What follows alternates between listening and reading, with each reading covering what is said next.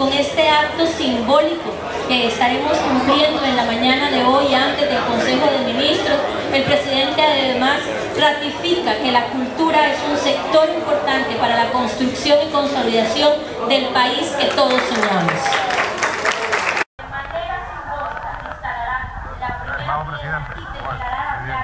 De manera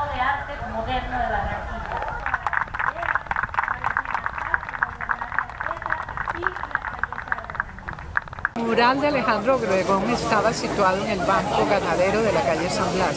Cuando ese banco se lo venden al Banco Bilbao Vizcaya y ellos quieren vender el edificio, nos donan el mural al Museo de Arte Moderno.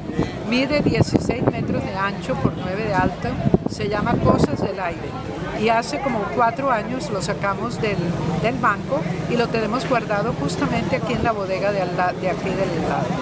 Y eh, va a estar en el lobby del museo, museo que yo creo que va a ser un museo además grandioso con una, la máxima obra de Alejandro en tamaño y vamos a tener una sala dedicada a Alejandro Obregón. ¿En fragmentos está guardado?